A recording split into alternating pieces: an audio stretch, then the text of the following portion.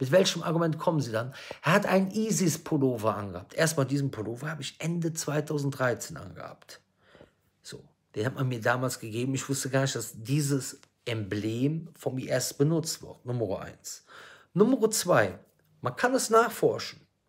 Diese, dieses Emblem war zur damaligen Zeit noch kein typisches Zeichen des IS, sondern wurde auch von anderen Gruppen getragen. Und dort steht nicht IS, dort steht La ilaha illallah Muhammad Rasulullah. Und dieses Zeichen gibt es länger als den IS. Das ist ein ganz klarer Fall. Und wenn ich dieses Zeichen angehabt hätte, zu einer Zeit davor, könnte man mich anzeigen. Deswegen, warum gab es keine Anzeige dafür? Warum ist das nicht durchgegangen?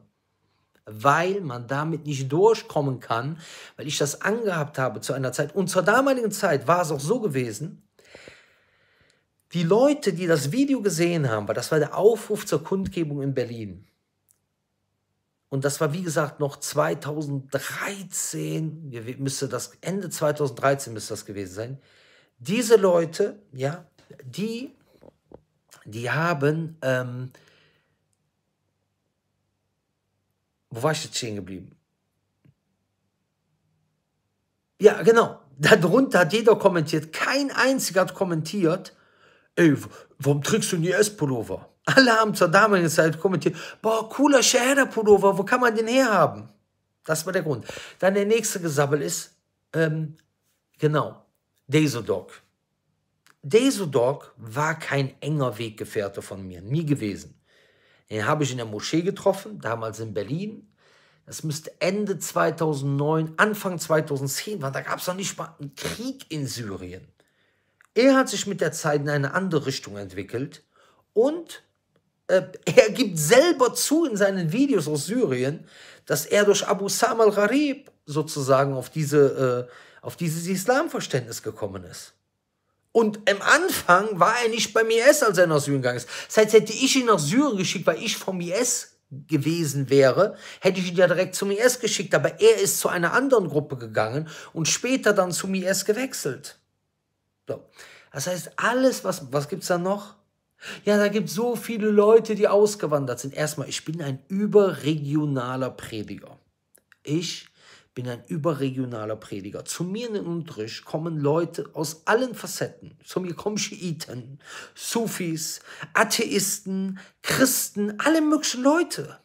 Und wie die sich danach entwickeln, da kann ich nichts dran ändern.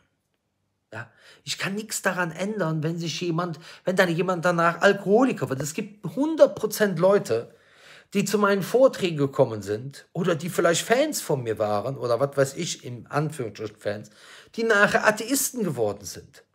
Man muss mich ja nach dem bemessen, was ich predige und nicht, was nachher aus jemandem geworden ist. Ja, aber das ist die Einstiegsdroge. Die Einstiegsdroge.